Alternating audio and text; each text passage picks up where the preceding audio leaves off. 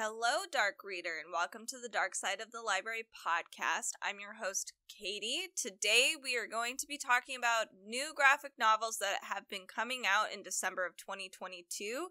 Happy New Year, everybody! We are finally done, and I'm excited to see what comics and dark, gothic, spooky books are coming out in 2023 let's check out the last month. So, first we have Afro Samurai. This is the first volume graphic novel. This is by Takashi Okazaki. This comes out December 13th. It is the director's cut edition. So, we've already had the original manga out, the show, which was amazing. So, now we're going to have more stuff. This is the out of print cult classic. It features a specially commissioned custom cover and a brand new forward by Takashi Okazaki. If you've never read this, here's what this is about. It's really awesome. The art is fantastic. In a feudal, futuristic Japan, samurai battle to become number one and rule the world. But when his father, who holds the coveted position, is challenged and killed, the young Afro samurai vows vengeance. Relentlessly pursued by murderous assassins, will he stay alive long enough to keep his promise? This is a fantastic classic manga. I highly recommend it. It's dark, it's interesting, it's cool. I love it. So, this is Afro Samurai, the Director's Cut Edition, Volume 1. Next up, we have Batman, The Court of Owls Mask and Book Set. So, it's a whole set. The Batman Court of Owls has already been out for a while. So this book is by Scott Snyder, amazing author, and then we also have Greg Capullo illustrating. The best-selling epic that introduced Gotham City's dread Court of Owls is back in this amazing book and mask set. This mask, you know, just simply is kind of creepy. If you were to wear it around, it would freak me out. After a series of brutal murders rocks Gotham City, Batman begins to realize that perhaps these crimes go far deeper than appearances suggest. As the caped crusader begins to unravel this deadly mystery, he discovers a conspiracy going back to his youth and beyond to the origins of the city he's sworn to protect.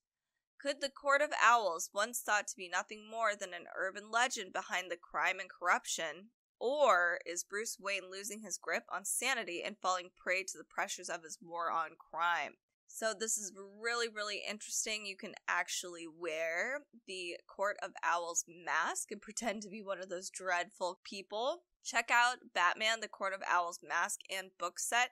It's 176 pages long. It's by DC Comics. It's fantastic. Next up, we have Beneath an Alien Sky. This is by Sid Kotian, who did Gambit, The Adventures of Apocalypse AI, and Dream Police. So, this is their new comic about an alien planet. A madman releases a deadly monster onto an unsuspecting populace.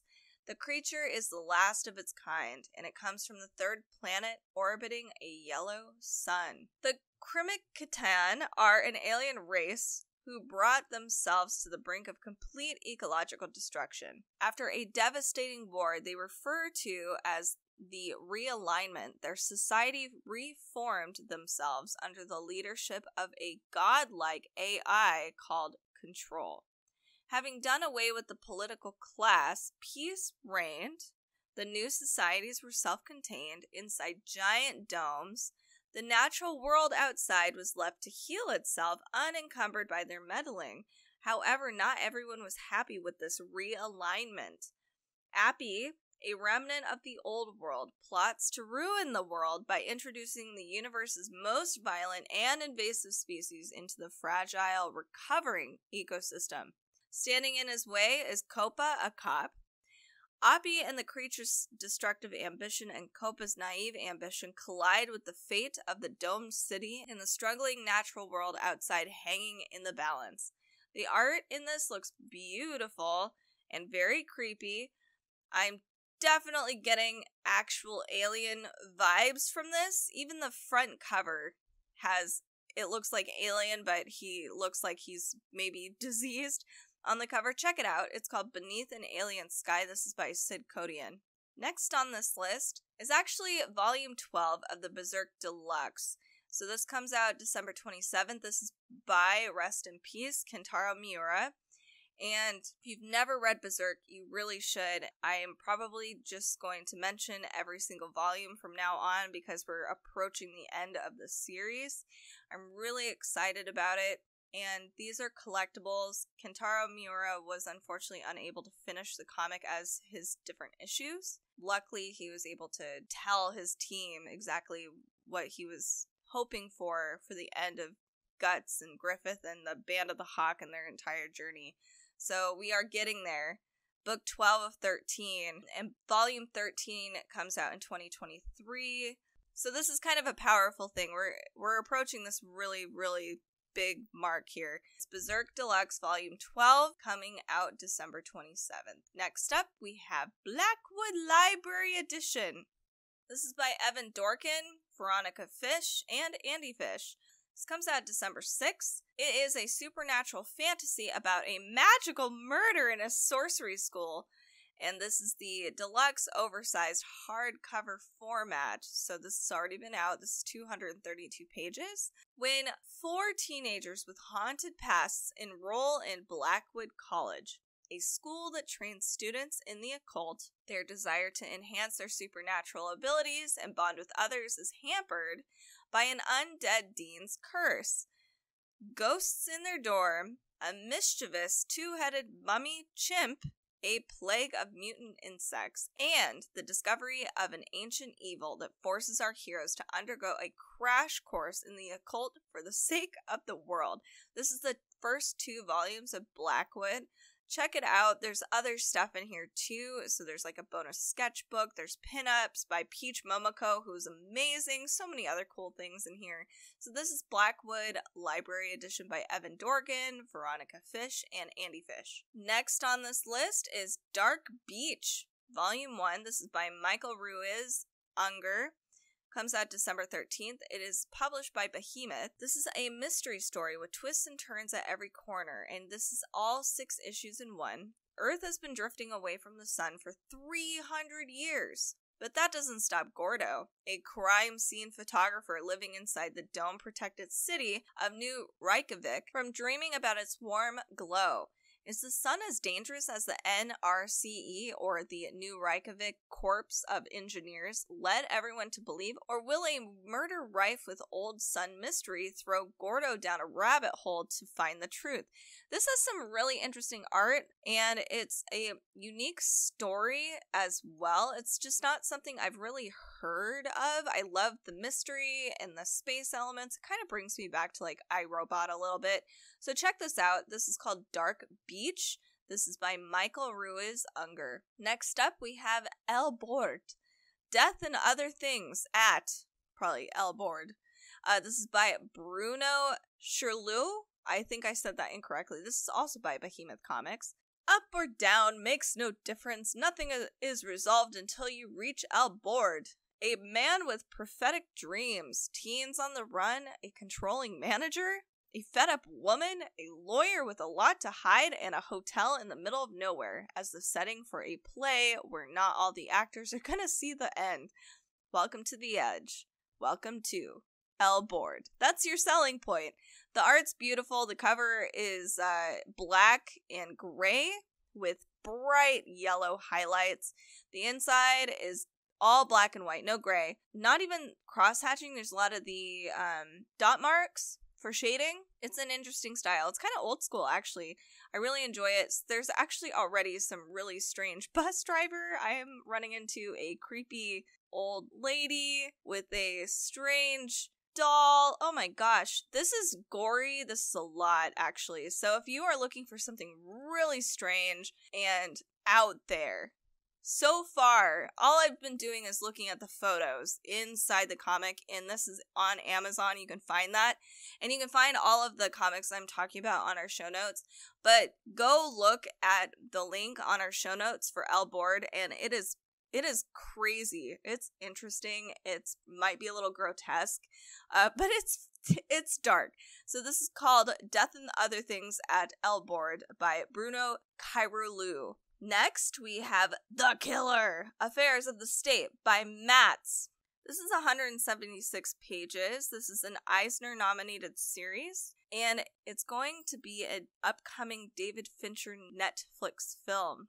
So, caught and put to work as an on call assassin for the French government, Killer has to adjust to working with a handler, his new partner, Nicholas, a former Special Forces operative and living life as a citizen. A network of citywide corruption awaits, getting Killer even more involved in the midst of a escalating crisis when he just wants to get back to his nihilistic lifestyle. But as feelings for a coworker arise in his day job, will Killer be dangerously distracted, torn between two identities? So this is The Killer Affairs of the State. This is by Matz and it comes out December 20th. Next is a Mike Mignola and it's perfect for holiday time. Unfortunately, I'm not getting this to you before holiday time, but if you're still in the holiday feel, you still want some gothic reads. Plus, this one is on Kindle. It's called Leonide the Vampyr, A Christmas for Crows. This is Kindle and Comixology, which is uh, also Amazon. So, when good and honest mountain folk come upon a small coffin among a carriage wreck, they find themselves among darker company than they bargained for. In this haunting Christmas carol, Mike Mignola and Rachele Aragno weave a chilling holiday tale as the vampire Leonide once again casts her spell over unsuspecting audiences. It's cute. This is only 22 pages. It's by Dark Horse Comics. Uh, it comes out December 14th. Check it out. It is Leonide the Vampyr, A Christmas for Crows. Next is a box set. So this would have been a really great gift. Um, if you have any January birthdays coming up, mine's in January. We have a bunch of January people in our family. This would be a great gift to consider. Uh, this is Michael Moorcock's Elric. This is one of the giant dark fantasy box sets. It is one through four. Elric is the tortured hero of Michael Moorcock's classic fantasy novels. His stories are brought to life in these exquisite graphic novel adaptations, collected together in this glorious box set for the first time. It includes three art cards. We have the Ruby Throne, Stormbringer, the White Wolf, and the Dreaming City, all different arcs in stories. So let's start with the first one. Elric is the albino emperor who's ruled Melnibone. I'm sure I said that incorrectly because it, it, sounds French. It's like Mel Melnibone for a millennia. A feat made possible through magic and various herbs that serve to strengthen and prolong his life.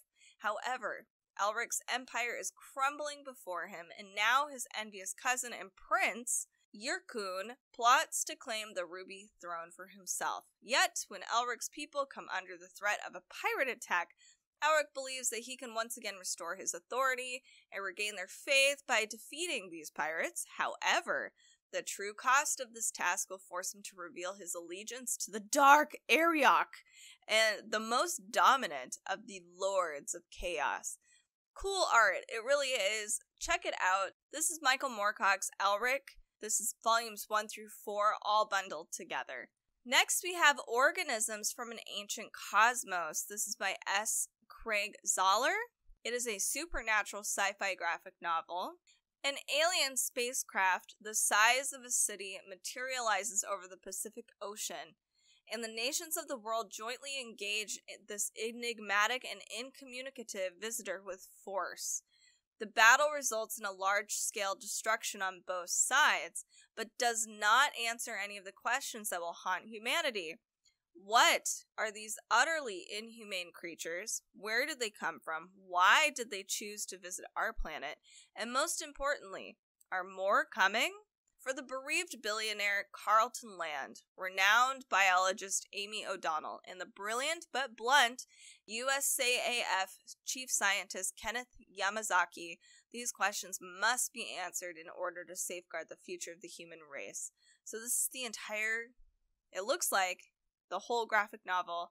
Um, it's a oversized hardcover. It has beautiful art on the cover. It's a haunting interesting sci-fi story and I'm looking for more of those this year, so I'm really excited to get my hands on organisms from an ancient cosmos. Next up, just briefly, because The Punisher is a dark mainstream comic, we do have a new series of Punisher stories. So it's Punisher Volume 1, The King of Killers Book 1 by Jason Aaron, Jesus Saiz, and Paul Azaceta. Issues 1 through 6, Frank Castle has become the most accomplished killer the world has ever seen.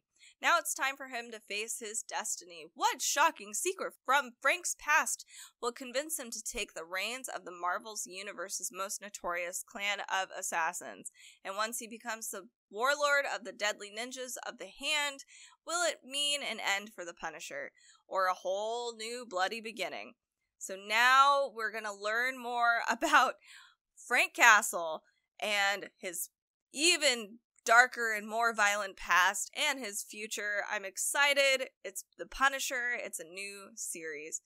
We have Stranger Things Holiday Special next. This comes out December 20th. I really wish this came out earlier so people could have enjoyed it all through December, especially us dark readers. So, this is by Michael Moreci, Chris Roberson, Keith Champagne. This is a winter special. Eleven and the kids of Hawkins are going into the full spirit of the season as they recall their favorite stories from their childhoods to teach Eleven about Christmas. Tensions run high as Dustin swears he saw something spooky lurking in the forest outside. This is really, really cute. This is by Dark Horse Books. Check it out. You can also just collect all of the different seasons. But this comic has not just the winter special. We also have the Halloween special and the summer special all wrapped in, up into this one. I just wanted to mention and read off the winter special because it's adorable and it's the, you know, it's the spooky Christmas season. So check out Stranger Things holiday season. This comes out December 20th. And lastly, we have a town called Terror. This is by Steve Niles and Simon Kudranski. Terror is a town of monsters, its boundaries hidden from the world. You can only find terror if you've been welcomed, but it may not let you leave. Henry West escaped terror, rebuilding his life and true happiness in the human world. When his mother disappears, his father forces him back home. Old rivalries and wars resurface as he begins to unravel the mystery. So that is it for a town called Terror, but this is being published by Image Comics. They are amazing. The cover of this is phenomenal. I love it. It's dark. It kind of reminds me of old school Preacher, which makes me really excited. So check out this new series. It's called A Town Called Terror by Steve Niles and Simon Kudranski. All right, so if you are interested in any of these comic books, again, make sure to head over to our show notes at darksideofthelibrary.com. You can find a whole bunch of links over there. Or you can join us on our socials on YouTube, Instagram, Facebook at Dark Side of the Library, and our Amazon Live channel at amazon.com slash live slash Dark Side of the Library. We try to publish every Wednesday and Friday, so stay tuned for then. And make sure to share this podcast with your friends and family. It really helps us out. And if you could do us a favor, can you rate and review on your favorite listening app? Or if you are listening over on YouTube, make sure to like, subscribe. Thanks again for listening. Have a creep-tastic week.